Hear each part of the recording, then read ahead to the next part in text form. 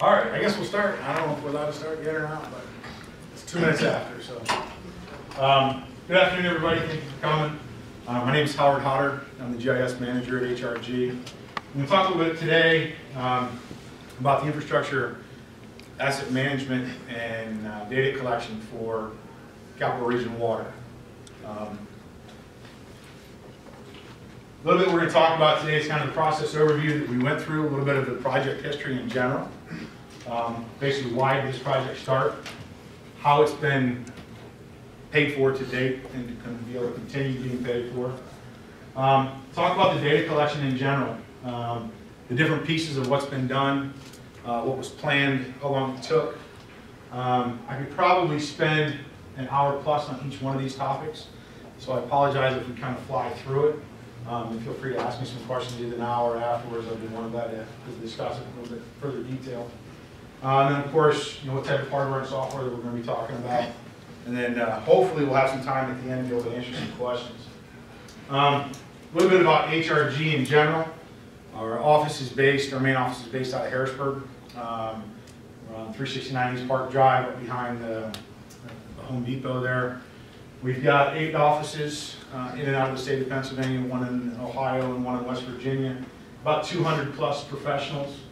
Um, And I'm specifically out of what we call our geomatics group, which is uh, our survey and GIS group. Um, We do a lot of different types of uh, non-traditional surveying and uh, traditional surveying. And uh, this would be a little bit of both. Kind of shows you an idea of what our expansion is. Um, We've done work pretty much in every state that touches Pennsylvania and then some. Uh, We've been to Kentucky, Indiana, Kansas, uh, Maryland, New Jersey, you name it. What do we do? We are primarily a civil engineering firm. Um, Water, wastewater, stormwater, um, some minor mechanical and structures. Uh, And then, of course, like I said, uh, come out of the geomatics group. Uh, So specifically GIS and surveying, um, laser scanning, mobile scanning, those types of things. Uh, But we are a full-service engineering firm. Uh, Been around in this profession in this region for over 50-plus years now. A little bit about myself. Um, I've been with HRG for over 16 years. Um, had an undergraduate degree from Bloomsburg University in geography and a master's degree from Penn State in GIS. Um, certified GISP, have been for basically since it was its original conception. Um, and I have a lot of knowledge in utilities and GIS development in general. When I started at HRG, I was boots on the ground. I helped build the databases, I did the data collection, I did the analysis, and then I sold to the clients. I supported the clients, I did the marketing. Um, You name it, I've pretty much done it. Now, luckily, um, I have people that help me do that now, so I don't have to do all the fun stuff anymore, unfortunately, but um, I get to come here and talk to you guys, so. uh, A little about, a little bit about me, uh, Matt Kisuchi with HRG. I'm a senior project manager in our water and wastewater group, and specific to this project, I served as the project manager for this project itself. Uh, I do have a BS in civil engineering from VMI, and have uh, over 12 years' experience now in uh, the water wastewater field with both uh, municipal as well as private clients, and I'm a professional engineer here in Pennsylvania. Go ahead, Yuri. It's me. Uh, Thank you. Yeah, good afternoon. I'm Yuri Evans. I'm with Capital Region Water. Um, I'm the newly appointed GIS manager. And uh, as as Howard didn't say, you were going to say, we used to be the the Harrisburg Authority, and now we're Capital Region Water. So with that, with that new name, we're in the midst of an exciting time of change um, and a lot of growth, and especially for me, being the the new GIS manager. For me, I, I spent 20 years in the GIS field, most of that being in the Lancaster area, almost all of it. So, uh, while Harrisburg is new to me, the, the industry is not. So, just let me give you a little bit of information about Capital Region Water um, and who we are. With this new name, we're striving to become a uh, customer-focused and customer-driven responsive utility service provider in the capital area. Hence the name Capital Region Water. Uh, we, we are an operating municipal authority. We're governed by a volunteer board. And while we still are public, uh, we're separate from the city, and we operate separately. So uh, we have, currently, we have 85 employees, and we're still growing. These employees manage the water, sewer, and stormwater systems throughout the city of Harrisburg, and portions of uh, several of the neighboring municipalities, which you can see a few up there on the map. We operate 24/7, 365 days a week to provide these services to our customers. And did I mention we are growing? We currently have several job opportunities on the website, so if you're interested, uh, check us out, capitalregionwater.com.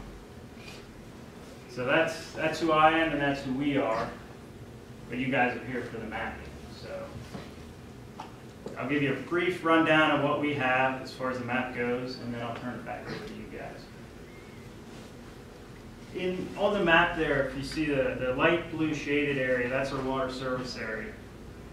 We have over 200 miles of water pipe that transport the water from our reservoir to our treatment plant, to our storage tanks, and ultimately to our customers. The green area, that's our sewer service area. We have a uh, combined system of stormwater sewer and sanitary sewer.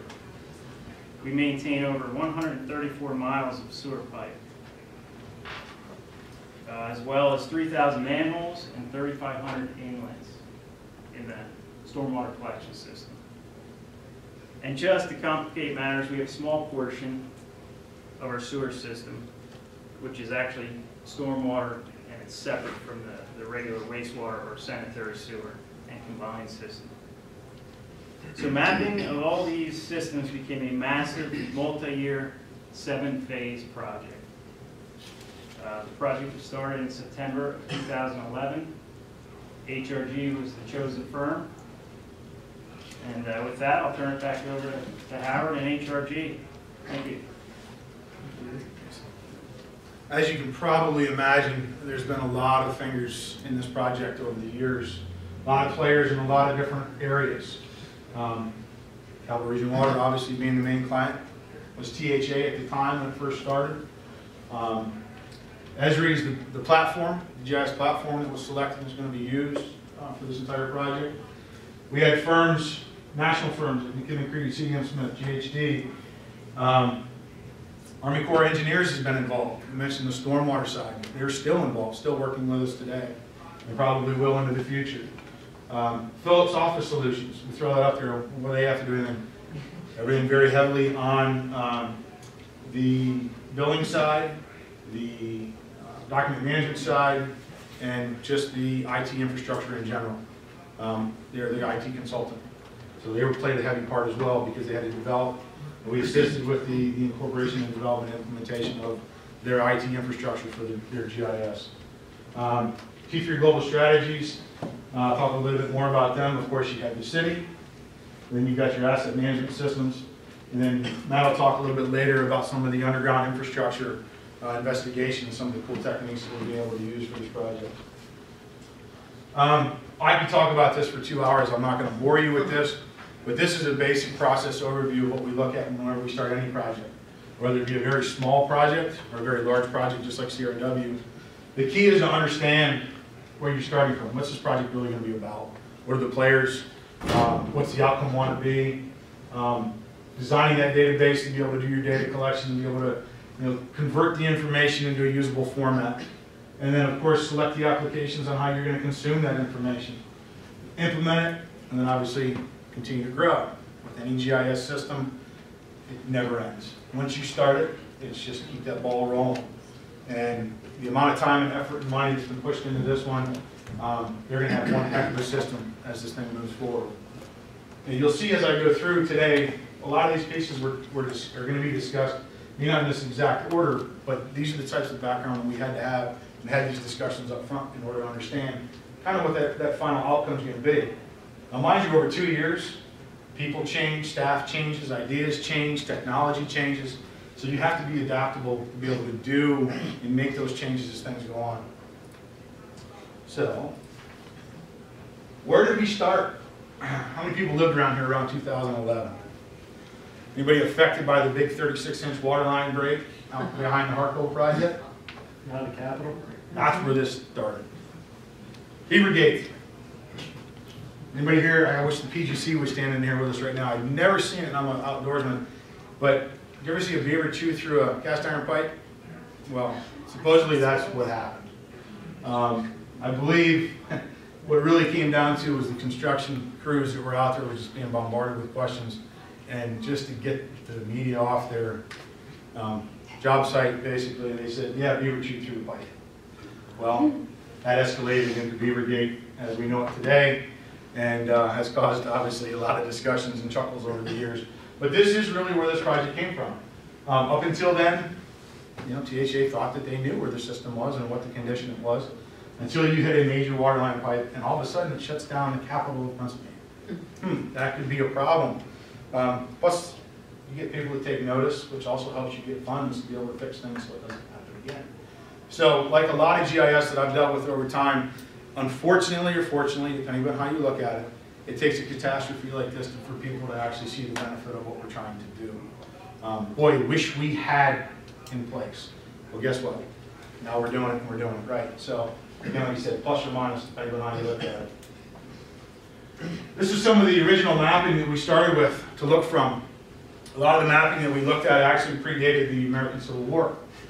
Um, we had our hands-on books that were literally hand calligraphy that were drawn the day the Battle of Gettysburg took place. And not only did we look at them and use them, so were the field guys. I mean, these are things that should have been under glass in a museum, but they're being used in the engineering group. Um, and this is no joke. This is the kind of stuff that we started from. Some of it very, very good, literally down to the number of bricks within a manhole or within a sewer line. Unbelievable. You'd never be able to build it today the way it was built in the past.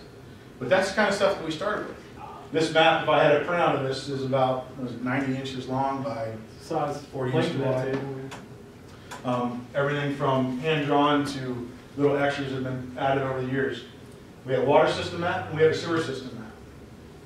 Guess what? That water system map did not show that 36-inch water line.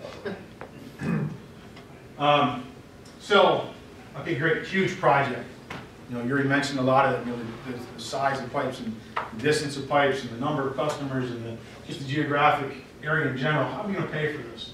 Um, HRG also has a financial services group that's been working with THA and now CRW for quite a few years on different funding projects for different things. And one of the things that we were able to help them with and work them with is uh, the PennVest grants. So as you can read this, I'm not going to read through it, but there's been certain bonds that have been um, worked with through us and with CRW to be able to help fund a lot of the project that has been going on. One of the things we're also working with, I mentioned the Army Corps of Engineers has a program called Section 22. That's a 50-50 match. So basically, you're getting twice the amount of work for half the amount of cost, in theory. Um, And they're on the docket for that, um, just to kind of give you a little quick jolt on that piece. This act, or section twenty-two project, they hadn't taken any new applications for quite some time. Because of this project and the high priority of this project, they were able to be able to get on that list and be able to get that funding, and be able to move forward with it, um, in a much quicker process than people have done in the past. So we're very lucky to be able to get that pushed through with the Army Corps. Base map, Beyond the water and sewer, one of the things it's looking at is the stormwater systems. Everybody here has probably heard the wonderful words of MS4 and Chesapeake Bay and runoffs and, I hate to say it, stormwater authorities and charging for stormwater and so on and so forth. Um, One of the things that we really didn't have for this region was a very strong base map. Um, We had imagery, that was either county-based, 200 scale, PA map kind of thing, but we really didn't have good construction grade, really, it was all planning level kind of stuff. So we wanted to be able to build this GIS from the bottom up where we could have real high precision, engineering grade, design grade style base mapping. So what you're seeing here is what the base mapping was set. Now, obviously, there's more to it than just the city. You've got a dam out here at DeHart Dam that's about 23 miles away from here, which is the main water source for the city. We had to have the imagery and all the information for that, as well as the base mapping for base mapping was created on the purple, the green was just orthophotography. Quarter inch pixel resolution, 50 scale mapping for everything in purple, all impervious surfaces. So now, not only can we have it just for a beautiful base map, we can use engineering, we can do design, we can do, you name it. It's not planning, it's, it's, it's engineering grade. Everything else above, we've also got half inch pixel resolution. Huge data sets, but unbelievable data. So let's do it, let's do this right. This is what we originally started with for our DeHart Dam transmission main. A little index map kind of showed us where it was supposed to be, but nobody ever really knew where it was. Even the guys that were working in the city said, I know where some of the valves are, but we don't know where all the valves are. We kind of have an idea where the line is. It hasn't been cleared pretty much since it was put in. There are some markers out there, but boy, it would be nice to know where this is so that we can clear it, so we can maintain it, so that we can make sure that this doesn't fail. Because if this fails, that could be a major problem. So, it looks like a beautiful day up there. I think that was one of the three months of work that we did. Um, But you'll notice USGS map. Unfortunately, we didn't see this until almost after we were done, but on the USGS map, if you go look, there's a little line that goes right through here. It says aqueduct on it. Normally USGS maps, you're not gonna see lines like that, but that is an actual aqueduct line that was drawn back when the USGS was made. And you'll notice that, like George, uh, that blue line follows it pretty darn good. This blue line, it was all survey accurate. We had to traverse that entire line, conventional survey, to be able to find the locations. This was more of the conditions that we looked at on this line. Most of it was through the snow, for obvious reasons, we wanted leaves off the trees, accessibility, less undergrowth. Um, That is the right of way. Going down through there, it's a fifty-foot right of way. Can you see the right of way? Um, You can see it was very cold. This was actually the bottom of his water bottle. It was frozen out. You can actually see the, the stamp from that water bottle. That's how cold it was. Um, This was chainsaws and a lot of footwork to be able to get through this. Now, mind you, it wasn't all 23 miles. It was about 17. Um, But it was, uh, it was a trek. What's the main made of and how did you guys trace it? We had it, uh, I'm gonna talk a little bit more, Matt will talk a little bit about this. It's called SUE, Subsurface Utility Engineering. Um, It is a cast iron, I believe, in concrete, it's concrete. It's a concrete reinforced pipe. Um, It's a cast iron and concrete pipe, it's cast iron wrapped in concrete. And we had a sub-consultant, we- I showed you, McKim and Creed earlier, um, competitively bid, came in and actually did what they call subsurface utility engineering on this line as well as the rest of the, the water system in the city. If anybody's been around town, you saw the little pink lines everywhere. We'll get to that, but that's where all the markouts were. So you'll see all these pink flags. These pink flags is what mark the line, the center, uh, center line of that water transmission line. So let's get into the distribution area. Um, Distribution area, basically, um, to base the project, because of the size, we decided we split it in two areas. No political boundaries, nothing fancy, literally we took Cameron Street, split it in half. That's about where it was. Uh, Had nothing to do with anything but that. When you started looking at the counts, it was about 50-50. So we started in this area first, where the transmission came in, and then moved up into area two, um, which became known as Area One and Area Two for this project. Uh, The light blue line, this is uh, the secondary transmission line. Uh, So you've got your primary coming in from DeHart, and then this would be your backup line should, you know, the the primary ever fail. Um, One thing that I I will touch base on as well before I move forward real too quick, along with the cross-country trek, we also had Norfolk Southern Railroad crossings that we had to deal with. Um, There was a lot of other involvement, multiple municipalities, so anytime we had to cut the road or trespass on different properties, we had to get the okay. So it wasn't just, okay, here's CRW's property, go ahead and do it. We had to deal with the city, we had to deal with Lower Paxton, we had to deal with Susquehanna. There was a lot of moving parts with this whole thing. And then you had other entities as well that all had to be coordinated through this. So um, it took a quite a big effort. So how do we actually find the lines that are in the road? Uh, When you go out in the street right now, you may see a fire hydrant, a mailbox, a fire hydrant, a curb stop, or even a water valve box that's in the street. So those are really the only indications that you have of, the of your below-grade facilities that you can view from the surface. So the Army Corps of Engineers, uh, back in the early 2000s, they published a guideline for uh, collection and depiction of existing subsurface utility data, and actually broke it out and defined it as a branch of engineering that is subsurface utility engineering to help identify the locations and the quality of data regarding the low-grade uh, buried utility information. That quality levels actually start at level D and work their way to level A. Uh, Level D is basically somebody saying, hey, there's a utility buried out in that street. It's basically verbal information given to you to say, I think there's something out there. Uh, That's the first step. The next step would be level C, where you actually have record drawings, some other information, which gives you a better indication where that utility is buried in the ground. The next step is level B, and we're using geophysics information uh, to actually help identify and pinpoint the location of that line in the ground. And the final step is quality level A, where we're actually exposing those buried utilities through vacuum excavation methods, test holes, uh, ways to actually verify and determine where those locations are on the ground.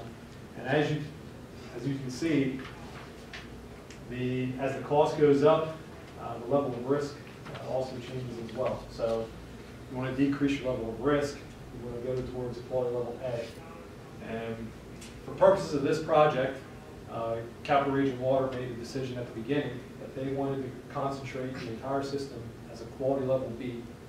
So they did geophysics information to identify the locations of the line within six inches of its XY location throughout the entire city. And that was both on the water lines as well as services.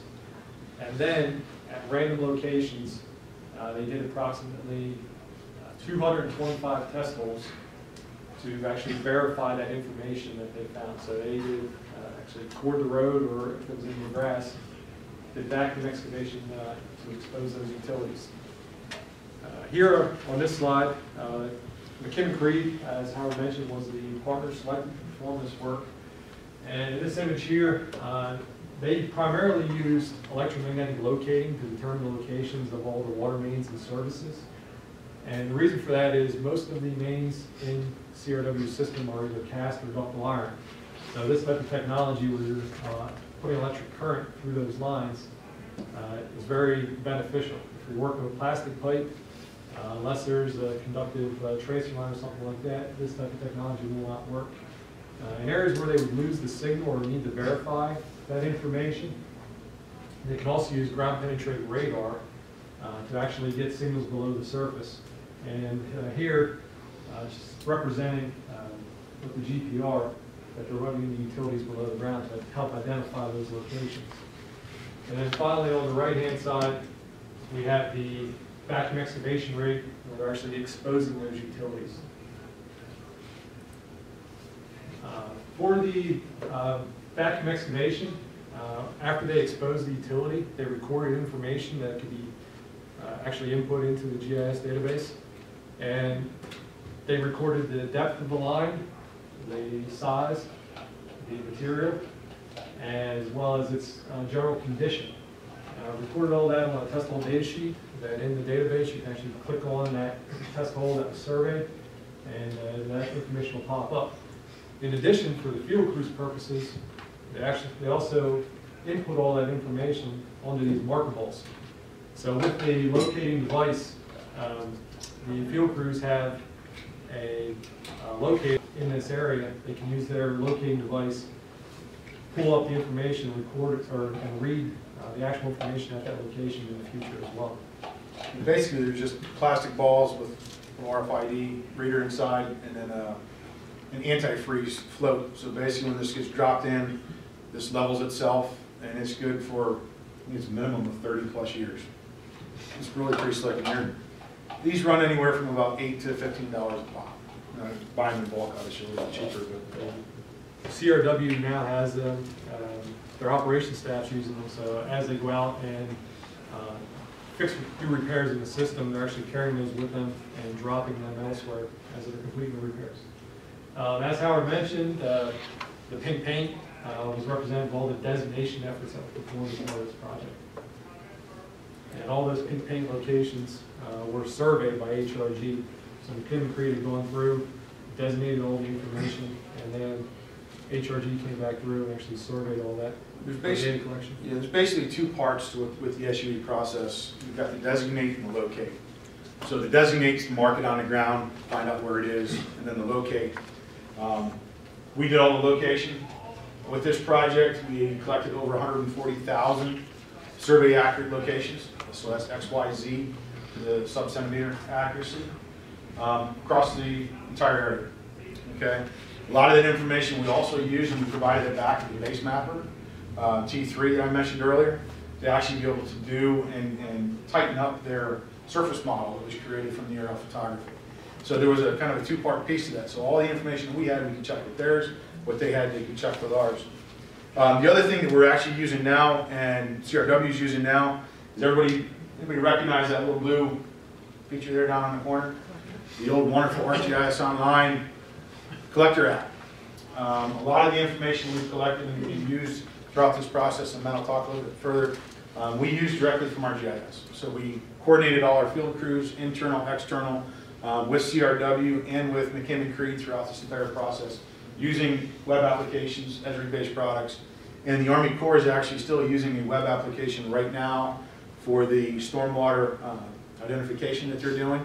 And one of the first things that we put in place for CRW was, if everybody's, anybody's a resident here, the water meter battery replacement.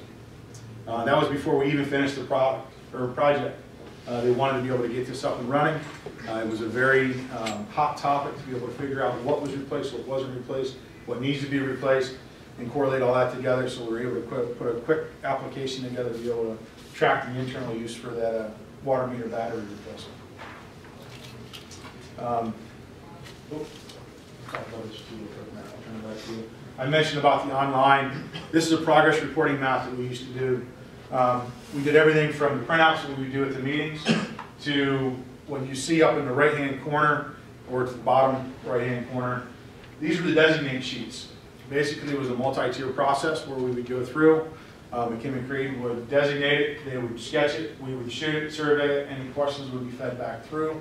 All these were then rescanned and put directly into the, uh, the online GIS application, and then anybody could access it. They had PM, project managers for McKim and Creed who were based out of Florida and or North Carolina, as well as some locals. So they used our web application to stay in um, contact with everybody as the process moved along.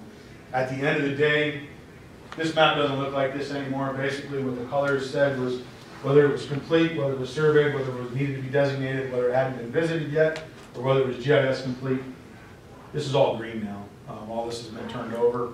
Um, But this was how we kept basically the status of how things were going uh, for about 18 to 24 months.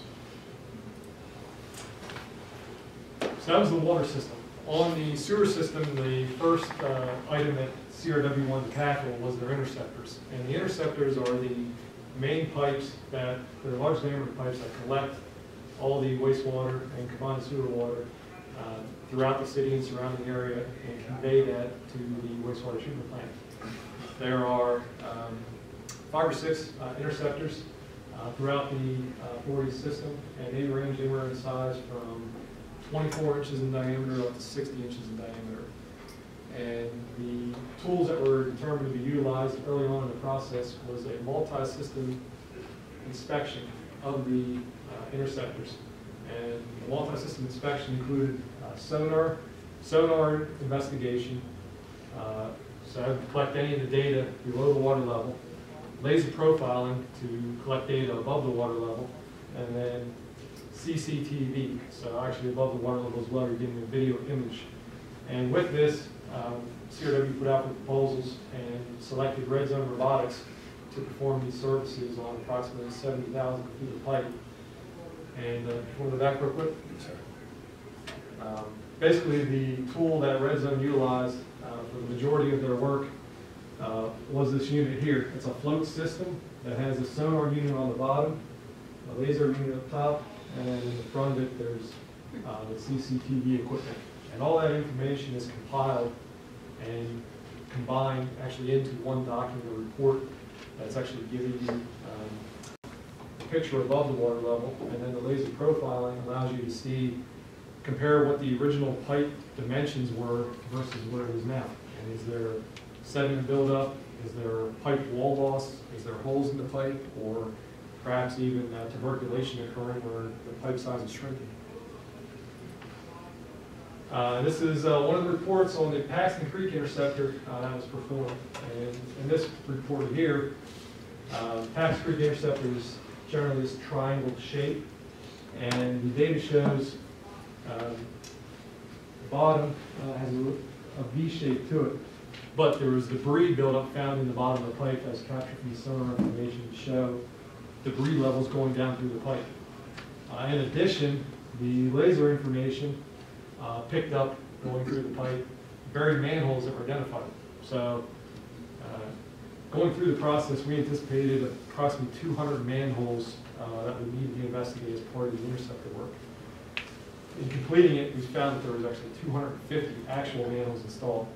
So those other 50 are buried manholes that did not exist on the drawings, and this is one of the lines where there's actually two of them within about 10 feet of each other. Um, And the information shows uh, here, basically, that these buried manholes are capped not far above the actual pipe itself. Uh, The information that Red Zone collects can actually be split along the pipeline and laid flat, which is represented here. So you can take a quick glance at the report for each segment of pipe put together at once to get a real uh, quick determination of the condition of the pipe. The blue lines uh, indicate the level of sediment on the bottom of the pipe.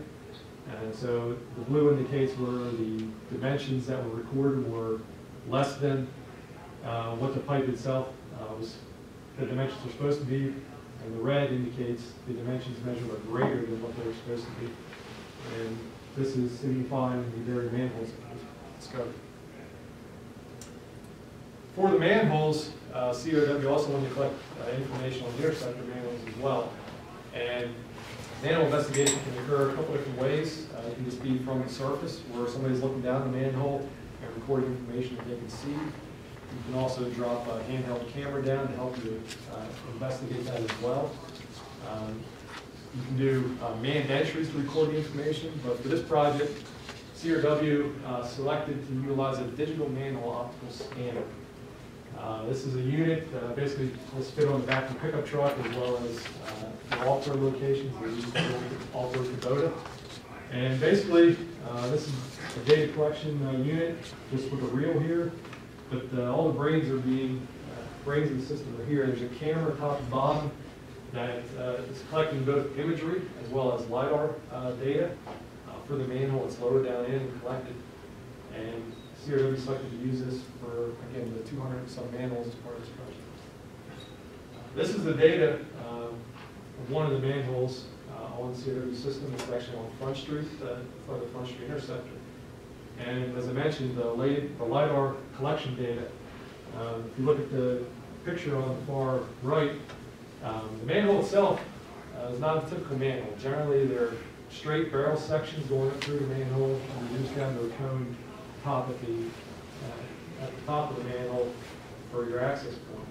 Uh, What we found here is a lot of these manholes on Front Street are these mushroom shaped, um, which is great information for collecting from a future engineering purpose. It Allows you to identify the square footage involved if you're going to be doing rehab work, or if you do have to get in here, it allows you to determine uh, what special tools and materials you may need at some point in the future for maintenance purposes. Uh, We also collected data, or video, uh, imagery data uh, with this, and just like the pipes were split along the 12 o'clock position, or 6 o'clock position, the manholes are split vertically as well and laid flat. So in this manhole here, on the uh, upstream side, we actually had a circular pipe coming in, and on the downstream side, changed into a rectangular box pipe leaving, and we also had two pipe connections coming in as well. Um, So with the manual optical scanner, uh, again, we have a lot of data collected for purposes of maintenance in the future, and this is also being done to prioritize the condition of each system. Um, Overall, CRW has, as I said, about 70,000 feet of interceptor and about 700,000 feet of sewer pipe. Uh, Plans as we move forward in the future to go out into the distribution, that's 700,000 feet. collect information, and help prioritize where they need to uh, look at first for repair and investigation technology.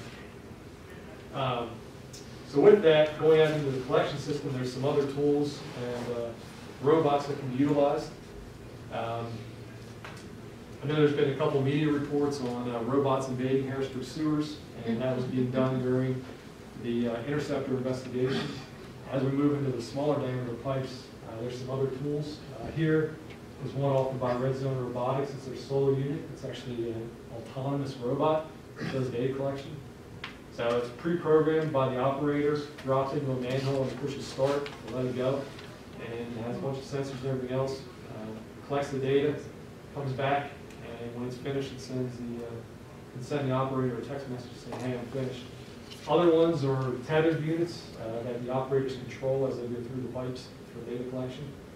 And uh, these can be outfitted primarily with uh, CCTV as well as some laser information. The unit on the right is actually uh, a unit produced by Red Zone as well. That's for large diameter pipes, uh, 120 inches if not larger. And uh, that can actually collect uh, LiDAR information in the pipe as well to determine if we're going to be rehabbing these large pipes and there's bends in the pipes. Can actually plot the coordinates of those pipelines and collect that information to help you with the rehab work in the future. Uh, Just some examples of some videos that these uh, units collect, uh, CCTV outputs, uh, to determine the condition of the pipelines you're going down along with what Matt was saying, of course, all this is going into a great database, which is going to be connected to GIS. So the days of old where you'd have a VHS tape sitting on a shelf somewhere that an engineer may look at one time is now going to be day-to-day data that they can use in the office and in the field directed directly through their GIS system. One of the other nice things that we're looking at for the collection side is a newer technology called these gyroscopic mapping probes. Um, basically what this does is you can tie it to the, one of those little machines that we showed you here before. Use it as a tether to it, and as it pulls it through and does the CCTV, I can also now get true XYZ coordinates of where my pipes are. So today's systems, yeah, it's manhole to manhole, it's a straight run, should be a consistent slope. Um, obviously in the older systems, that's always not the case. Um, really, and even especially in stormwater systems, that's not the case. So it's nice to be able to put these types of probes in the ground when you've got a very precise um, XYZ on the surface. I can then program it to figure out the depth based upon the uh, LiDAR information that's being collected for the manholes. Program this to run it down the line. At the end of the day, I come back and I get this wonderful three-dimensional map of where that actual is at. So there's no more guess anymore of above ground and below ground. We know right where it is. And all this feeds into a three-dimensional GIS, not just a 2D, this is a pretty picture where my system is. Now I can actually use this information. I can engineer upon it. I can do capacity studies. I can do rehab. It's, it's basically all the information that you've always wanted to know without ever knowing it. So now you've got it, and you can use it more than just saying, okay, when there's a break, what do I do? I can actually plan and work with it. So where does this all go? I stole this from an Esri slide, so hopefully there's no measuring here, and it'll probably help me. But, um, We're a business partner with Esri, so I hope they won't be too upset with us, but, um, basic platform. You know, you've got the centralized database, it's gonna be used for everything.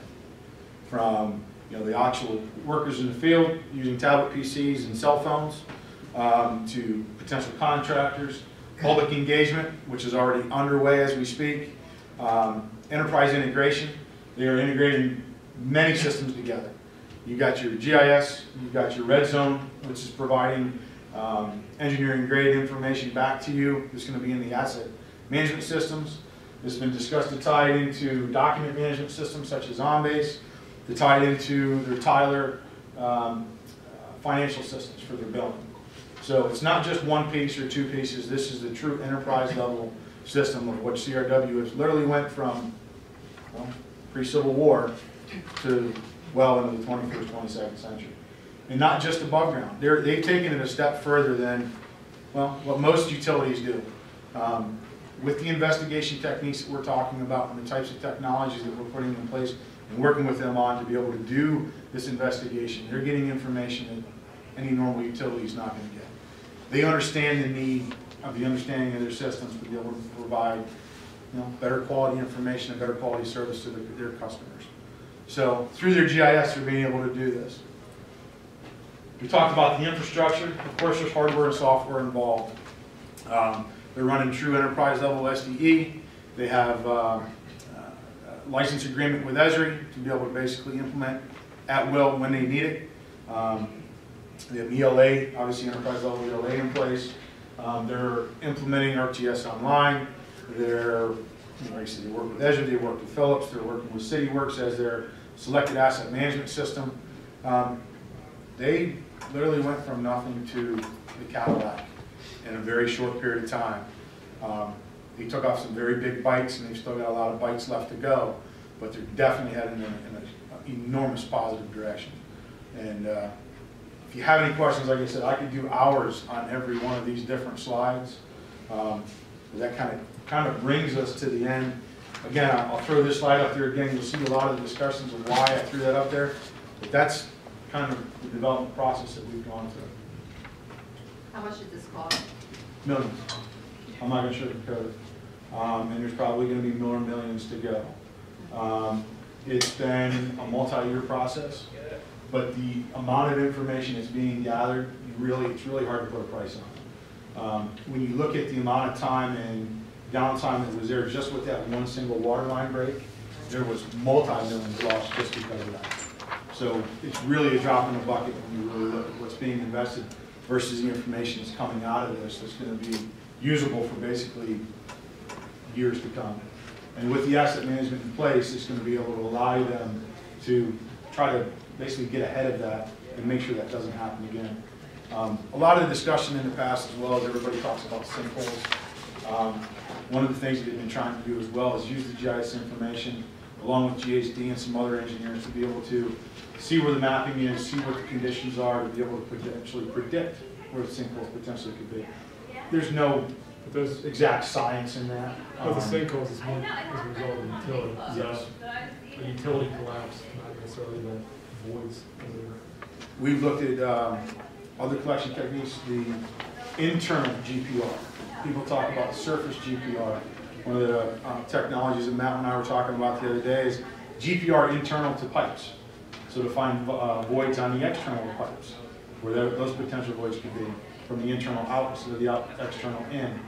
Um, They've been, CRW's been very, very proactive in, in using the technologies that are available in the correct ways to be able to get a better answer. Can, can you of this, uh, in-pipe stuff to get the, uh, uh, thickness of the pipe, looking for Yep. weak spots, that kind of thing? You want to talk about that? It's, uh, it's technology that's being developed, and I believe you can get a look at that and see. Uh, We can look at the specifics for the manufacturers and the pipe materials, are a big component of it as well. Um, One of the things CRW is looking at at some point in the future is a condition, condition assessment on the primary transmission of the water system. Uh, And there's um, other technologies that are out there besides the in-pipe GPR to help identify and determine the condition of those pipelines. that are being evaluated. One of the things that they've, they've shown in the manholes as well as in the pipes with those LiDAR, about being able to see the actual um, shapes of the pipes and the shapes of the manholes themselves. If you have good enough as-built information about what those were supposed to be when they were originally designed, you can look at this information and extract, you know, basically what kind of deterioration has taken place. Um, Potentially find weak spots, find things that could potentially happen. Um, But that's one of the things that the red zone is doing, is when, if they're doing these pipes and finding this information out, you can actually see where the the wall thickness has changed, where the sedimentation has, has set. Um, So yes, I mean, that's all the engineering that comes into play with it.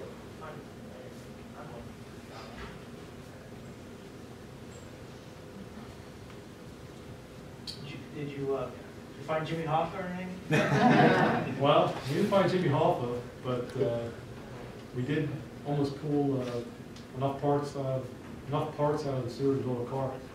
We found, um, near the scrapyard, uh, we found axles, uh, Bumpers. bumpers. I mean, there was lots of debris built up in there. You sell it back to them. Uh, They're paying for it. And like I said, I did mention, you know, the continuation of this project, Army Corps is still involved, they're still doing uh, investigations specifically for the MS4 areas to begin with. Um, So they're using this technology and information we've gathered to date to be able to go out and, and pretty much identify areas of concern and areas within the, the stormwater systems. And, you know, there's, there's been things that have been found, everything from inlets that have been full to pipes, connections that are questioned, um, to be able to basically paint a better picture of, of a system that they really didn't know was there. Um, One of the, I always love to tell this one story, I I have to bring it up. Matt mentioned about finding 50 extra manholes. When we first started this project, one of the things that that we talked about, the public works director at the time had come in and said that they had just found a new manhole after a storm because a tree fell over. And I said, well, what does that have to do? And he said, well, the tree actually grew over top of the manhole, they never knew it was there. Until the tree grew up enough, died, and fell over, then they found a manhole underneath that tree. So that just kind of tells you some of the the things that that CRW had to basically take on themselves in order to be able to, because at the beginning of this project, CRW did not own all these systems. I guess that's something we should bring up. Um, The the city owned pieces of it, um, PHA owned pieces of it, and through the processes over the last two years, CRW now owns and operates these systems. But it was not theirs to begin with, so they've had to bite off this big piece that was really never theirs to begin with as far as their operating system. What's that? So they own the water, but they contracted with the city for operation. So. Any other questions? Yes, ma'am. Um, are you guys doing, because I know that there were a couple, sing- or a couple, there were a lot of singles in city. Are you guys the ones that are gonna be doing the mapping for that? Or is that, That's- that's- Actually, we have another consultant. okay. I didn't know if that was gonna be integrated with this, or if that was gonna end up. Well, they're being separate. using all this information. Okay. All the GIS that we collected, they're using that. that. Okay, so I was thinking that that would probably be a good, good data to use. Absolutely. Yeah, the one thing with this is, it's not just collect once, use once, it's been collect once, and we've used it for a lot of different things so far. So, and it will continue in the future, so. How much time we got left? Did we kill the whole hour? Hopefully we didn't put anybody to sleep. It was brain time. Thank you. Thank you all very much.